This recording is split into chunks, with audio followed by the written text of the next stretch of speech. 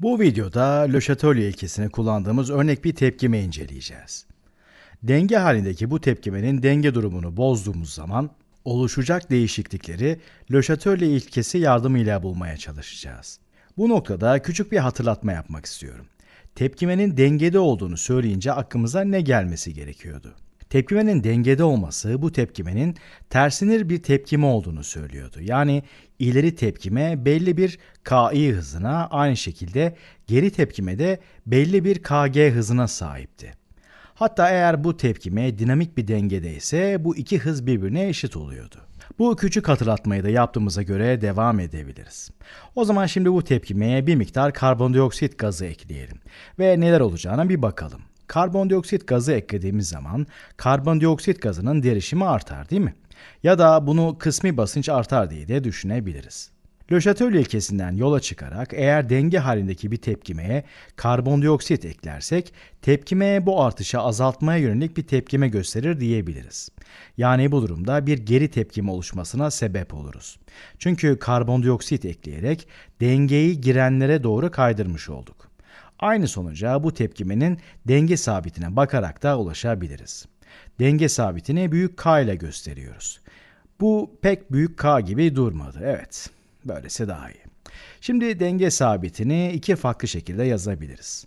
Denge sabitini KD diye yazdığımız zaman molar derişimler cinsinden yazıyoruz. Yani aslında KD ifadesi ürün derişimini bizim örneğimizde ise karbondioksit gazının derişimini gösteriyor. Çünkü KD'yi yazarken bir tek gazların ve çözeltilerin derişimlerini yazıyoruz. Katıların derişimine dikkate almıyoruz. Bu yüzden KD'yi bir tek karbondioksitin denge durumundaki derişimle ifade ediyoruz. Denge durumdaki derişimi olduğunu göstermek için de şuraya denge yazalım. Denge sabitini bir de kısmi basınçlar cinsinden yazabiliriz. Bunu da büyük K indis küçük p yazarak gösteriyoruz. Yani derişimler cinsinden değil de bu sefer gazların kısmi basınçları cinsinden yazmış oluyoruz. Ve ihtiyacımız olan her şey bu. Buraya bir tek karbondioksitin kısmi basıncını yazabiliriz. Çünkü tepkimedeki diğer maddelerin hepsi katı halde olduğu için bunları denge sabitine eklemiyoruz. Bu ifadeleri iyi ki de yazdık. Ne de güzel yazdık. Yalnız gerçekten güzel yazdık. Şaka maka güzel yazdık bunları.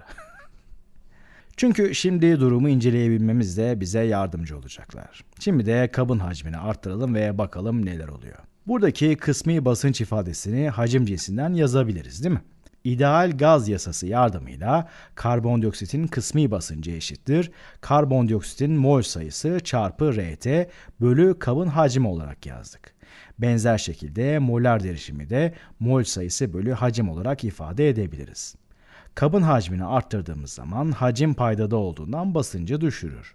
Dolayısıyla karbondioksitin kısmi basıncı düşer ve denge hali bozulur.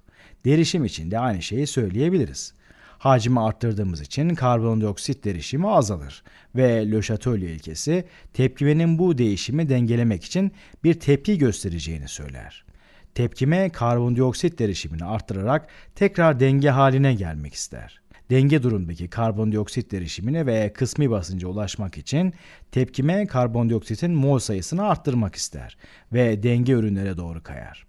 İkinci durumumuzu da böylece bitirip sıradaki durumumuza geçelim. Şimdi de tepkimeye bir miktar argon gazı ekleyelim ve neler olacağına bir bakalım. Argon gazı asal bir gaz olduğu için herhangi bir şeyle tepkimeye girmesini beklemiyoruz. Ancak argon gazını tepkimemize eklediğimizde olmasını beklediğimiz tek şey kabın içindeki basıncın artması yani kabın toplam basıncının artmasını umuyoruz. Ve böyle de oluyor. Kabın toplam basıncı artıyor. Ama bu bize dengeyi ne olacağına dair bilgi vermiyor. O zaman geri dönüp KD ve KP denge sabitlerine bakalım. KP'ye bakarsak bağlı olduğu değişkenlerin karbondioksit mol sayısı ve kabın hacmi olduğunu görüyoruz. Karbondioksitin mol sayısında veya hacminde bir değişiklik yapmadığımız için toplam basıncı arttırmış olsak bile karbondioksitin kısmi basıncı değişmedi. Kısmi basıncı değiştirmediğimiz için tepkimenin denge halini bozmadık. Bu sayede tepkimede herhangi bir denge kayması yaşanmadı. Derişimlerle birlikte denge halinde korumuş olduk. Peki bir miktar kalsiyum karbonat eklersek ne olur? Bu başlangıçta elimizde katı halde bulunan madde. Denge sabitlerini etkileyen şey karbondioksitin derişimi olduğu için katı fazla bulunan kalsiyum karbonat eklediğimiz zaman da tepkimenin denge hali herhangi bir şekilde bozulmaz. Tepkimemiz denge halini koruyarak devam eder ve derişimde de bir denge kayması yaşanmaz.